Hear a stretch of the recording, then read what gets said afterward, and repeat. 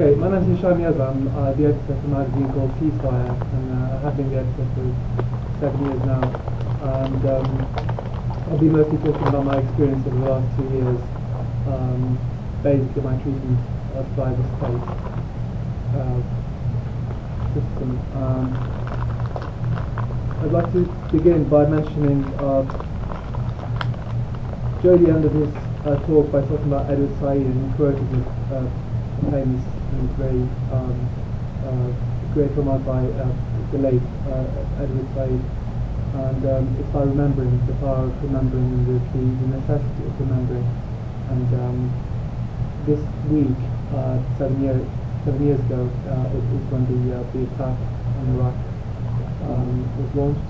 And it's also the week when um, Rachel Corrie, who's a, a US um, American uh, activist, was uh, bulldozed to death um, while, while trying to prevent um, a house in Rafah from being demolished by, a, by a, a bulldozer. Um, this week, well this month, after more than seven years, her parents have finally had the chance to have a hearing held to discuss uh, and to look at the incident of seven years after it took place. And I think it's good to just make sure we sustain the memory of uh, people like Rachel. Who gave their lives for um, so that Palestine could be free, and I, I do believe they will be free.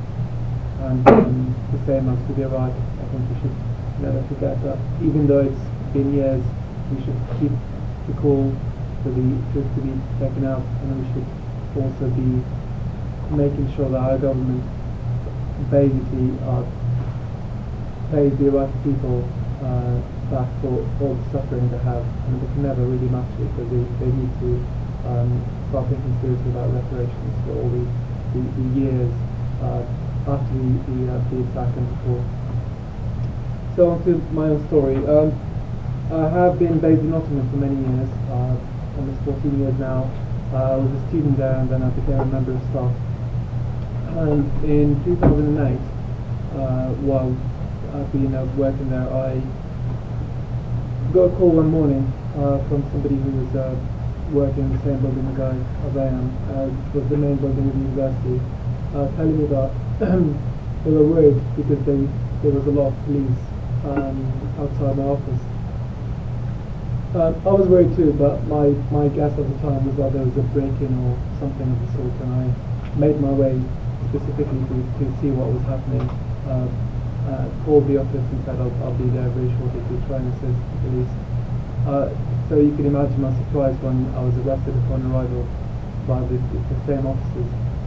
Uh, was not told what was the, the reason behind my arrest. I was taken to the local police station uh, in handcuffs. Uh, was arrested in front of the entire sort of whoever was in the building that day, the big building, and uh, you know, you can imagine the sort of shock when this is the last thing you expect. I was taken to the police station, was um, you know, searched, um, put cell, uh, fingerprinted, you know, my DNA uh, details taken. Um, also had uh, what they call footprinting, which is basically the same as fingerprinting, but with teeth. Um, it's actually a very, very lengthy procedure that takes about three hours because they need to be really, really accurate frankly. I, I think it's a lot more rigorous than, uh, than the fingerprinting, but the fingerprints are for every single finger, not just the one. So the whole operation took about three, four hours. Um, very unsettling. And it took about 10 hours before I was asked a single question, uh, which is when I discovered the reason for the, uh, for the which was the presence on my computer, my office computer, of a document called the Al-Qaeda Training Manual. Um, now to give a bit of context, I, I edit a magazine called Ceasefire, which is a, the main political and cultural journal uh, at the university, but it's, it's fairly, uh, it's a national publication, it's uh, sold all over the country and even abroad, and um, quite well established.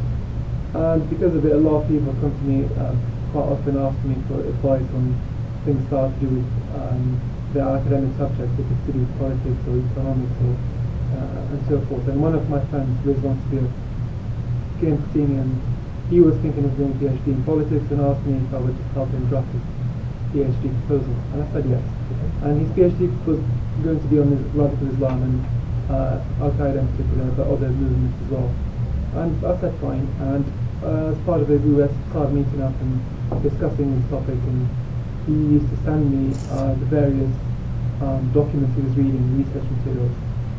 And the Qaeda training manual was one of them. And the reason, um, not the reason, the way he found it or the way he, he came across it was simply by um, looking on the reading list for one of his modules on terrorism. And the reading list had as some of the resources the, of all places, the US Department of Justice website, which have under the documents there for researchers and scholars, the Qaeda training manual. It's a declassified open source document that's available to the public. Anyone in this room can read it, anyone in the world can read it. Um, nothing against it. Rizwan sent it to me, uh, along you know dozens and dozens of documents I used consulting, mostly papers, academic papers, and that was the reason I was arrested. Um, as soon as I heard that that was the problem, I was relieved. Um, I thought, that's fine, it's going to take five minutes. I'll explain the context. They'll be able to verify it to the Rizwan and they'll be able to verify the, uh, the computer, you know, email exchanges and so on, and that, that'll be the end of it. What happened instead was, um, as soon as I sort of established the scene and you know explained the circumstances, instead of releasing me um, and one who was also arrested, um, they instead spent six days trying to find other stuff to convict us for. Basically, six days of just asking all sorts of questions about all sorts of irrelevant things um, to try and find something. That's how it became really obvious by the end of it because it was simply surreal sort of questioning.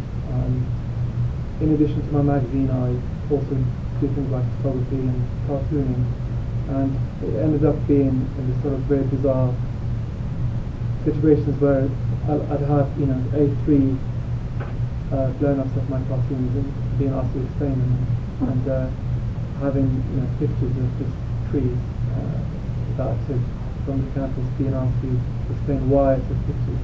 And the, the, one of the most bizarre and I think the most telling, which is I think linked to um, my the wider point I'll be making about the, the, the state actions and the, the terror of the state is um, I was questioned at length for many hours, in total about 20 hours, uh, about my reading habits. And I do, not mean the sort of things I read, but the fact I read in the first place.